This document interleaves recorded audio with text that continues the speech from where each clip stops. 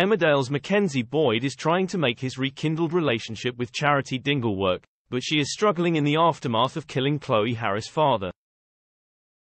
Emmerdale viewers are convinced Mackenzie Boyd's days on the soap are numbered.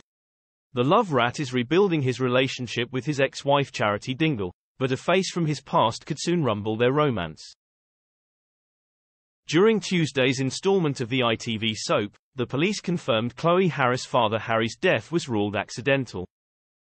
Mack breathed a sigh of relief, but Charity was still struggling underneath the surface, with the character having flashbacks of the incident from that awful night.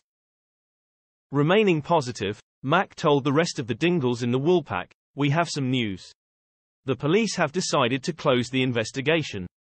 Later on, when they were home alone, Mack reminded Charity how much he loved her and they shared a passionate kiss on the sofa. However, Emmerdale viewers are convinced a newcomer's appearance in the village will cause a stir between the couple. Fans believe the new character Ella Forster has a hidden connection to the Scotsman. In upcoming scenes, Ella gets sacked after defending Mandy Dingle at a vet's ball. She ends up in Emmerdale on the search for a new job. Is that the real reason she is in the village? Will sparks fly when she inevitably runs into Mack in the Yorkshire Dales village? Will it cast doubts in Charity's already fragile mind?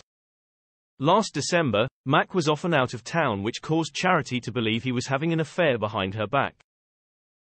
He was actually dealing with issues between his ex Chloe and their baby son Reuben. But could he have been getting close to Ella all along? Taking to X, formerly known as Twitter, one fan speculated, so, who did Mack sleep with? Ella or Ruby? A second penned, we only have Mack's word that he ended up sleeping on a park bench. Charity could well be right that he ended up sleeping with some random other woman. Maybe Ellie or Ruby. Ryan added, Lane Powless arrival on Emmerdale next week. I'm so excited. I look forward to meeting Ella and seeing what drama she brings to the village. Will Ella rock things up in the village, or will she end up being harmless with no connection to Mack whatsoever?